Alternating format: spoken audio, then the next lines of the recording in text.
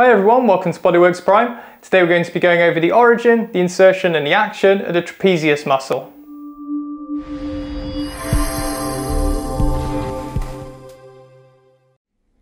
So here we can see the trapezius muscle in isolation. As you will notice, it connects to a lot of different places, uh, the scapula, the clavicle, uh, different vertebrae, the back of the head. So let's go over them next. So we can see marked out here in red the origin of the trapezius muscle. Let's look at the vertebral part of it first. So we've got C7 all the way down to T12 on the vertebrae. And you'll notice on the posterior or the back of each of these vertebrae, there's like a little nodule that kind of sticks out on the back of each one, and that's the spinous processes. So the trapezius is specifically originating on the spinous processes of C7 to T12 vertebrae.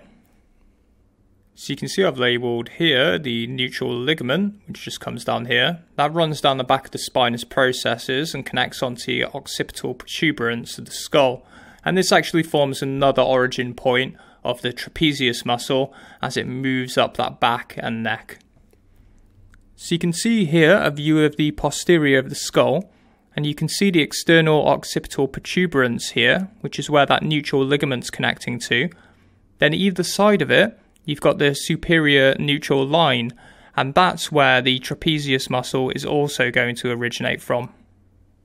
So in summary, the origin is coming from T12 all the way to C7, across the nuchal ligament, occipital protuberance of the skull, and then either side of that occipital protuberance on the superior nuchal line.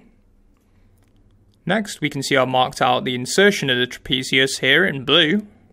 And that insertion is going to run all the way from the spine of the scapula to the acromion and onto the lateral third of the clavicle. So we're back again with the skeletal model. Let's take a look at the actions of the trapezius muscle. We'll start off at the neck, and if you imagine just one side of the trapezius muscle is contracting, it's going to cause flexion of the neck. So we've got lateral flexion of the neck as our first action. Next, if my head's tilted forward like this and the trapezius contracts, it's going to cause extension of the neck as our next action.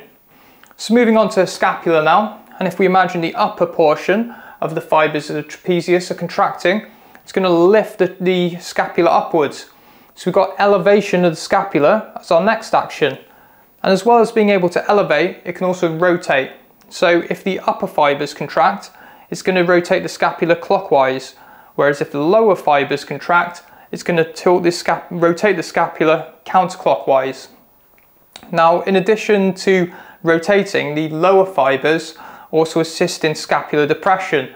So that's when the scapula moves in a downwards direction. So, you know, if we got the scapula elevated like this, that would be depression of the scapula as it comes back down. Now mainly that's going to kind of happen if you've got kind of a, a resistance trying to push the scapula upwards then the lower fibers are going to be able to hold it in place and stop it from moving. Now in addition to this we've also got scapular adduction. So that'd be when the scapula moves medially. So an example of this would be if my scapula is in a protracted position and then I retract the scapula like that that's going to be scapular adduction as it moves towards the midline of the body. So if you enjoyed the video or found it helpful, you know which buttons to press. Press those buttons down there or leave a comment below. It really helps out the channel. Thanks so much for watching everyone. I'll see you all next time.